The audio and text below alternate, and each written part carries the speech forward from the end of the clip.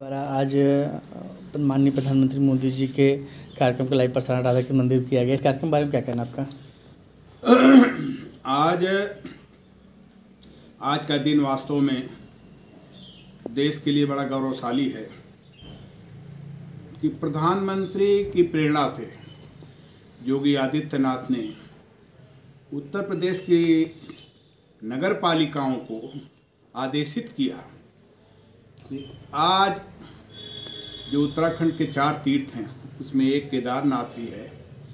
और केदारनाथ में आज से एक वर्ष पूर्व प्रधानमंत्री ने संकल्प लिया था कि जब आपदा आई थी केदारनाथ में, हज़ारों लोगों की जीवन लीला समाप्त हो गई थी। तो प्रत्येक हिंदू का ये कर्तव्य होता है, और आज से नहीं, आदि से वो चारों धाम की यात्रा ज़रूर करे तो प्रधानमंत्री ने उस समय सोच करके ये चार धाम की सुगम यात्रा के लिए चारों धाम को सड़कों से जोड़ने का प्रयास किया और उसी कड़ी में केदारनाथ का समग्र विकास करने का काम किया। आदि शंकराचार्य जो दक्षिण के थे, उन्हीं की प्रेरणा से ये चारों धाम विकसित हैं। और हिंदू समाज का प्रत्येक व्यक्ति जाता है। जो एक भारत श्रेष्ठ भारत का सपना है, मैं समझता हूँ, आदि शंकराचार्य की कल्पना थी और उसी कल्पना के आधार पर चारों धाम का निर्माण हुआ था और आज पुनः प्रधानमंत्री ने जो केदारनाथ में जाकर के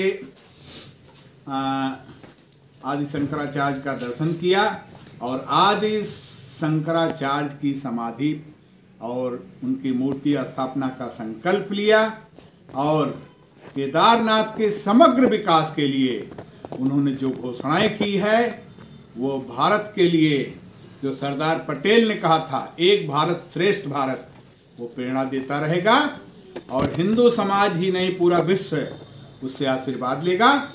यह है आज का जो काम है, जो प्रधानमंत्री स्वयं वहाँ उपस्थित रह करके पूरे देश को उन्होंने संदेश दिया। आज टीवी लाइव पर डी वन पर जो कार्यक्रम प्रसारित हो रहा था, मैं समझता हूँ विश्व के सौ करोड़ से ऊपर लोगों ने उसको साक्षात देखा है। यह उनको प्रेरणा देगा और भारतवर्ष में जिस तरह से मंदिर का निर्माण अयोध्या में हो रहा है, उसी तरह से चारों धाम तथा हिंदुस्तान के इस देश के सभी तीर्थ स्थलों को जोड़ने का काम किया जाएगा।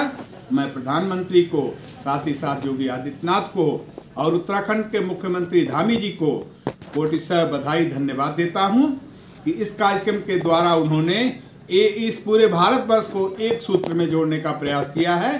गोवर्धन पूजा के इस अवसर पर एक अच्छा कृत्य हुआ है। मैं आज बहुत ही खुश हूँ और सबको संदेश देना चाहता हूँ कि जो ये केदारनाथ धाम है बाबा केदार जहाँ रहते हैं वो धाम आ, की यात्रा ज़रूर करें और एक भारत श्रेष्ठ भारत की कल्पना करें। जय हिंद जय केदारनाथ हर हर महादेव।